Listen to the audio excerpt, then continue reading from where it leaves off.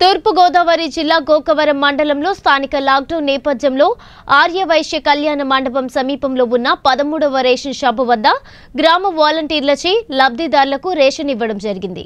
రాష్ట్ర ముఖ్యమంత్రి వైఎస్ఆర్ జగన్మోహన్ రెడ్డి చెప్పిన విధంగా మనిషికి ఐదు కిలోల బియ్యం ఇవ్వడం జరిగిందని త్వరలోనే లబ్ధిదారులందరికీ వెయ్యి రూపాయలు కూడా వాలంటీర్లచే అందించబడుతుంది అని వాలంటీర్లు తెలియజేశారు.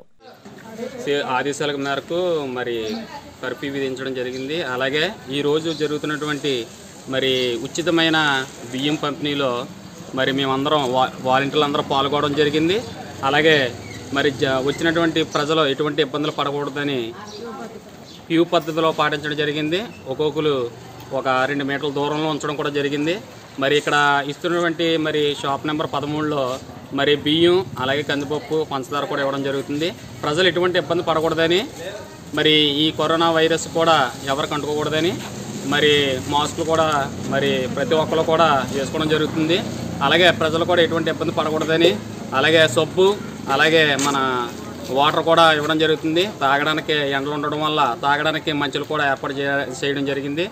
మరి అలాగే జగన్ గారు ఇటువంటి అద్భుతమైన కార్యక్రమం మరి ఎన్నో చేస్తారని మరి ఆయనకు కృతజ్ఞత తెలుపుకుంటూ